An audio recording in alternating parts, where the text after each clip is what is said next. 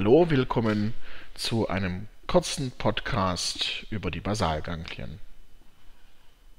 Versuchen wir uns in einem ersten Schritt topografisch zu orientieren. Wir sehen hier ein Gehirnpräparat in frontaler bzw. koronaler Schnittführung. Es fällt auf, dass einige Gebiete grau, andere weiß erscheinen. Beispielsweise hier an der Außenfläche sehen wir einen dünnen Streifen grauer Substanz (Substantia grisea), welche in diesem Bereich Cortex bzw. Hirnrinde bezeichnet wird. Der Cortex cerebri ist unterlagert von weißer Substanz. Hier finden sich die myelinisierten Axone. Wir sprechen auch von der Substantia alba bei genauer Betrachtung sehen wir, dass in der Tiefe des Gehirns wir abermals hauptsächlich um die inneren Liquorräume formiert graue Substanz finden.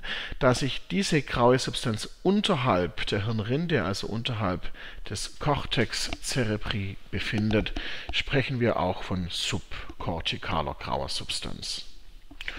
Nun, was sehen wir hier als Vertreter der subkortikalen grauen Substanz. Das wäre beispielsweise hier der Nucleus caudatus, hier das Putamen, hier Claustrum.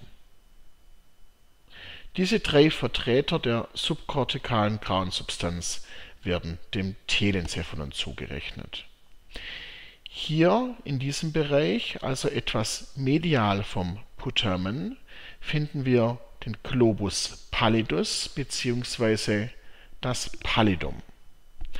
Das Pallidum gehört entwicklungsgeschichtlich nicht zum Telencephalon, sondern zum Diencephalon, sollte deswegen eigentlich nicht als subkortikale graue Substanz bezeichnet werden.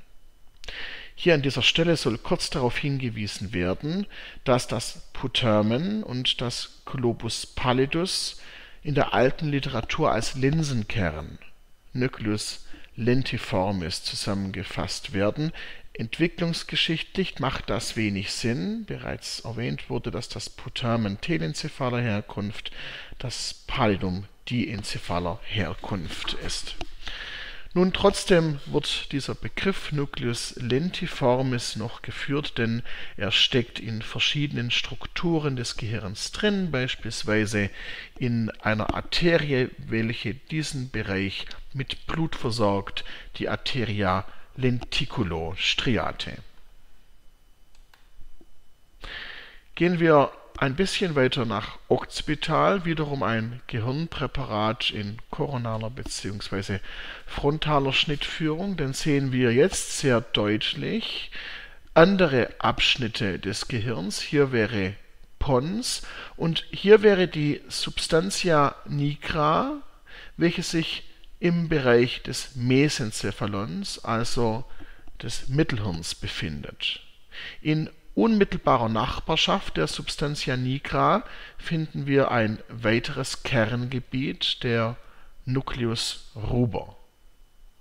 Und hier in diesem Bereich finden wir randgebend um den dritten Ventrikel sogenannte Thalamus, welcher dem Diencephalon zugerechnet wird Hier in dieser Schnittführung sehen wir jetzt auch wieder alte Bekannte. Hier in diesem Bereich Putamen und Pallidum. Hier in diesem Bereich Thalamus. Hier wäre der Nucleus caudatus. Hier wiederum die Substantia nigra. Hier der Nucleus ruber. Und hier sehen wir jetzt ein Kerngebiet, welches wir noch nicht kennengelernt haben. Dieser Kern liegt unmittelbar unterhalb des Thalamus und wird deswegen Nucleus subthalamicus genannt.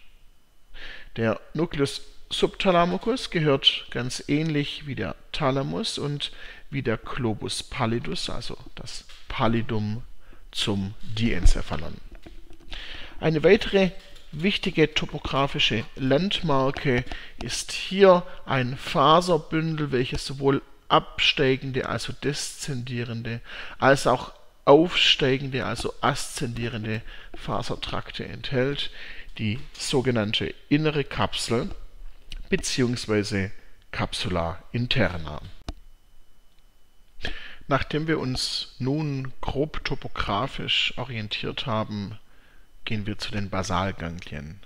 Nun, was sind die Basalganglien überhaupt? Basalganglien ist ein funktioneller Zusammenschluss von verschiedenen Kerngebieten, die wir jetzt gerade auch schon gesehen haben, welche in die Regulation der Motorik eingreifen. Wie genau das die Basalganglien machen, werden wir uns gleich genauer betrachten betrachten wir uns zuerst einmal, welche Gebiete, welche Kerngebiete des zentralen Nervensystems werden überhaupt den Basalganglien zugerechnet. Nun, es sind dies der Nucleus caudatus, das Putamen, Globus pallidus, Nucleus subthalamicus und die Substantia nigra. Nucleus caudatus und Putamen werden für gewöhnlich unter dem Oberbegriff Striatum zusammengefasst. Nun, wie kommt es zu dieser Namensgebung? Wir sehen hier den Nucleus caudatus, hier das Putamen, und eigentlich handelt es sich um ein zusammenhängendes großes Kerngebiet. Im Rahmen der Hirnentwicklung wird dieses Kerngebiet von der wachsenden Capsula interna, also inneren Kapsel, auseinandergedrängt. Es verbleiben jedoch hier angedeutet einzelne Streifen, einzelne Brücken grauer Substanz zwischen Nucleus caudatus und Putamen. Streifen heißen für gewöhnlich Striae und dadurch die Namensgebung Striatum für Nucleus caudatus und Putamen. Hier in dieser Abbildung sehen wir jetzt wieder die einzelnen Bestandteile der Basalganglien, jedoch eingefärbt in verschiedenen Farben. Hier soll verdeutlicht werden, dass die Basalganglien aus drei verschiedenen Gehirnarealen, aus drei verschiedenen Gehirnetagen sich zusammensetzen. Der Nucleus caudatus und das Putamen, also das Striatum, werden dem Telencephalon zugerechnet. Globus pallidus und Nucleus subthalamicus gehören zum Zwischenhirn, zum Diencephalon, und die Substantia nigra wird dem Mittelhirn, dem Mesencephalon, zugerechnet. Hier in dieser Abbildung sehen Sie die dreidimensionale Orientierung der verschiedenen Komponenten der Basalganglien oder zumindest einiger dieser. Und man muss sagen, dass ein statisches Bild diesen dreidimensionalen komplexen Zustand eigentlich gar nicht richtig widerspiegeln kann. Ich empfehle Ihnen deswegen, dass Sie sich geeignete Animationen suchen, die heutzutage im Internet zuhauf zu finden sind. Nichtsdestotrotz möchten wir uns kurz der dreidimensionalen Struktur der Basalganglien zuwenden. Wir sehen hier den C-förmigen Nucleus caudatus mit einem Caput, einem Corpus und Cauda Nuclei caudati. Hier sehen Sie die streifige Verbindung zum Putamen. Nucleus caudatus et Putamen werden zum Striatum zusammengefasst. Mittig davon, also wenn wir jetzt hier weiter in die Mitte gehen, würde das Pallidum liegen. Wir kennen im Pallidum ein mediales und ein laterales beziehungsweise ein internes und ein externes Segment. Wir würden hierauf gleich zurückkommen. Hier sehen wir dargestellt den Nucleus subthalamicus, welcher unmittelbar unterhalb des Thalamus liegt und die Substantia nigra würde sich dann ungefähr hier befinden, im Bereich des Mittelhirns. Noch eine weitere topografische Betrachtung. Wir sehen hier eine Detailaufnahme eines mediosagittal geteilten Gehirns für Ihre Orientierung. Hier wäre der Balken Corpus callosum, hier wäre das Gewölbe Fornix und hier wäre der unpaare dritte Ventrikel mit seiner Adhesio interthalamica und seinem Plexus choroideus, welcher hier durch das Foramen interventriculare Monroe tritt und sich dann am Boden der Seitenventrikel fortsetzt. Hier haben wir das Septum pellucidum, welches die beiden Seitenventrikel trennt voneinander abgelöst und blicken jetzt hier auf eine Vorwölbung im Bereich des rechten Seitenventrikels. Dies wäre der Nucleus caudatus und das können wir in dieser Abbildung auch sehr schön sehen, dass in der Tat der Nucleus caudatus sich in das Lumen der Seitenventrikel hineinwölbt.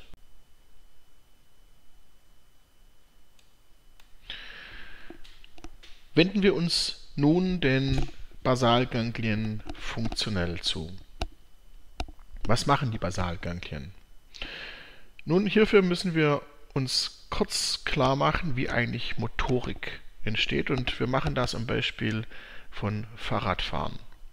Wenn Sie morgens zur Universität mit dem Fahrrad fahren wollen, dann müssen Sie das erst einmal wollen. Diese Motivation entsteht in Strukturen des Gehirns, welches wir als limbisches System bezeichnen.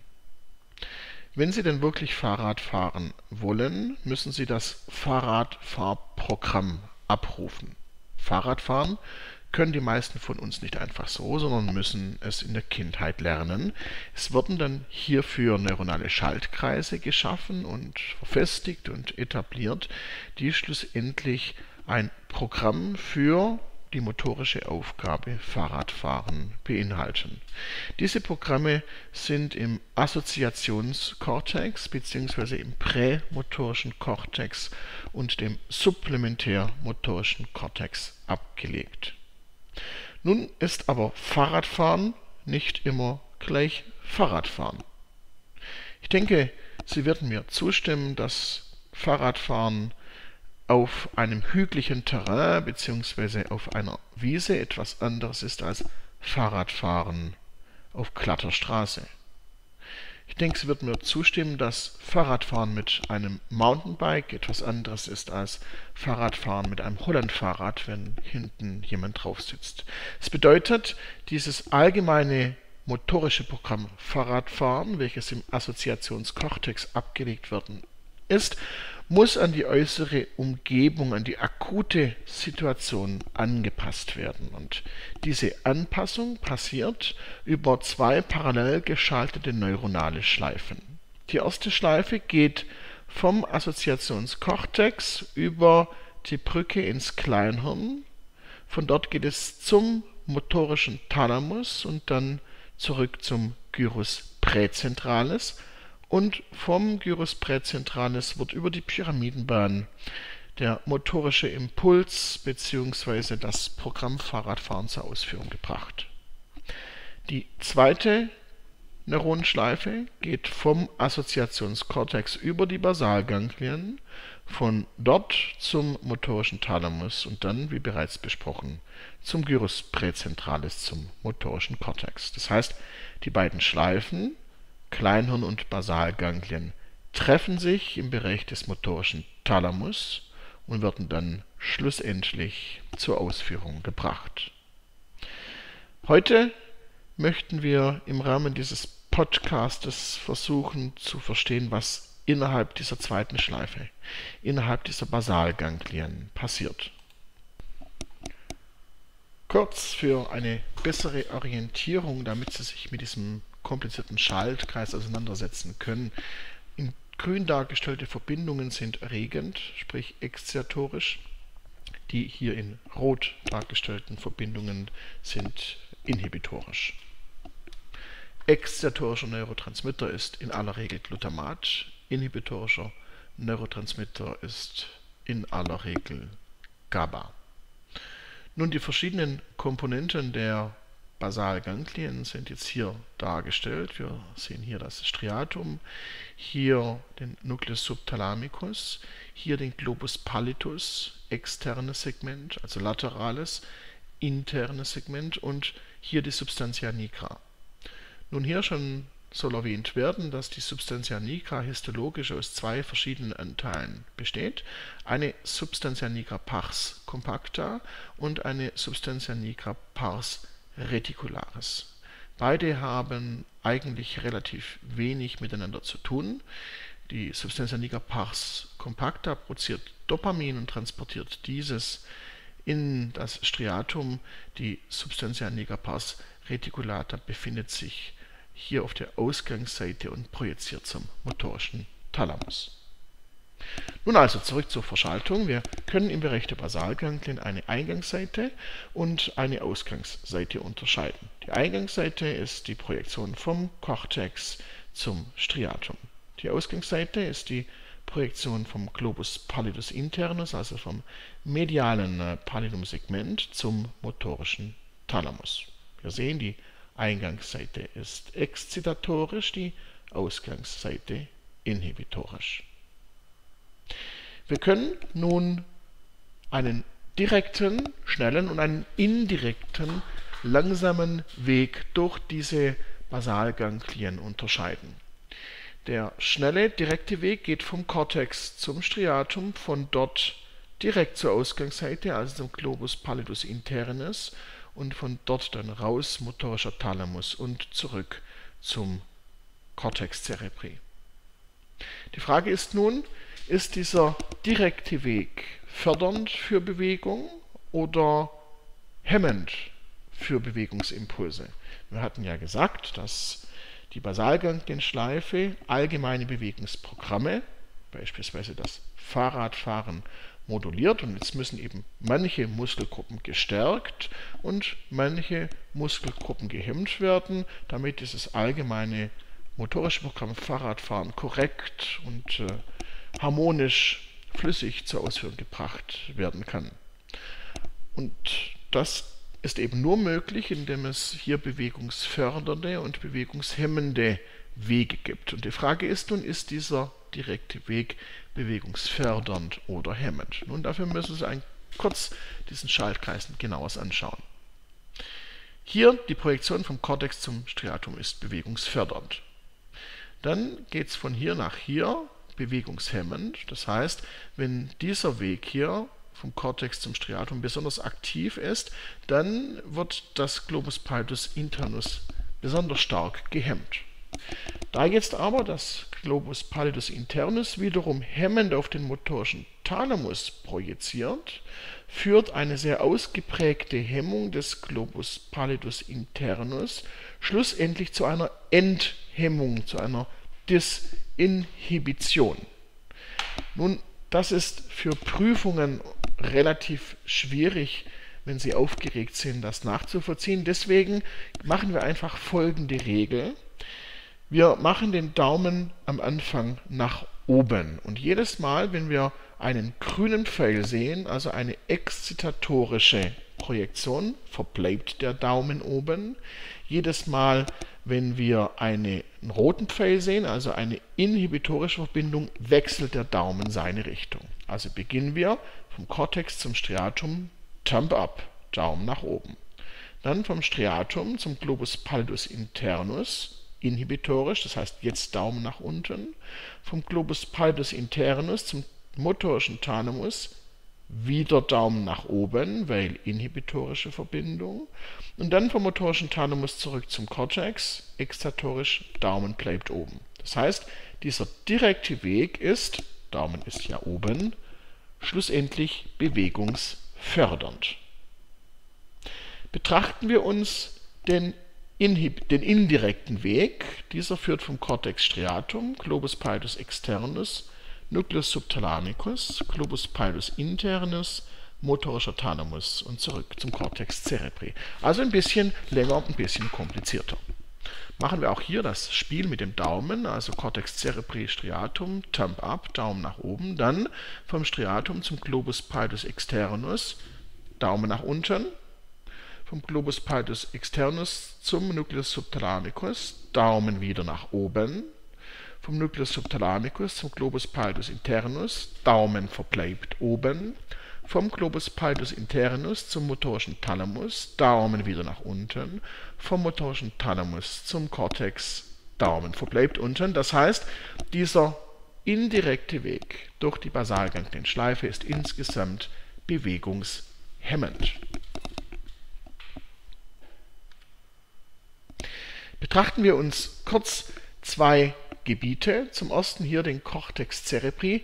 Die Fasern, die vom Cortex cerebri ins Striatum ziehen, entstammen den prämotorischen Arealen, also hier dem prämotorischen Kortex, der vor dem Gyrus präzentralis liegt, und hier in blau dargestellt dem supplementärmotorischen Kortex. Hier sind diese einzelnen Programme gespeichert und werden zur Modulation durch die Basalganglienschleife geleitet. Die Information, die dann hier vom motorischen Thalamus zum Cortex cerebri zurückkehrt, wäre dieser Teil des Cortex cerebri, der primärmotorische Cortex, der Gyrus präzentralis, der vor dem Sulcus centralis gelegen ist. Und wenn Sie schon das Diencephalon mit dem Thalamus gelernt haben, dann wissen Sie, dass es spezifische und unspezifische Thalamuskerne gibt. Die spezifischen Thalamuskerne sind im Gegensatz zu den unspezifischen Thalamuskernen mit ganz spezifischen funktionellen kortikalen Zentren verknüpft. Und äh, hier wäre der spezifische Thalamuskern, der spezifisch mit motorischen Kortexarealen interagiert, verknüpft ist, der Nucleus ventralis anterolateralis, hier abgekürzt durch VAL. Das heißt, dieses Gebiet des Thalamus ist hier als motorischer Thalamus dargestellt. Sie könnten also hier anstatt motorischer Thalamus auch Nucleus ventralis anterolateralis schreiben.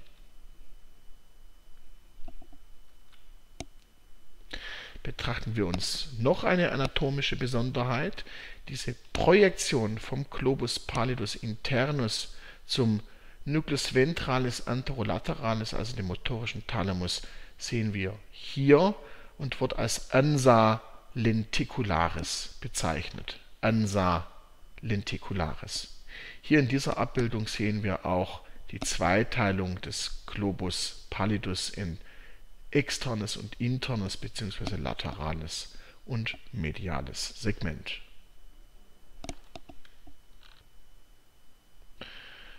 So, als letztes sollten wir uns nun noch mit der Substantia nigra beschäftigen.